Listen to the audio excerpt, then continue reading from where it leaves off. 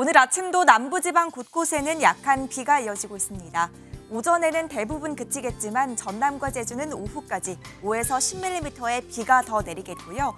중부지방에도 오후 한때 5mm 미만의 비가 내리거나 빗방울이 떨어지는 곳이 있겠습니다.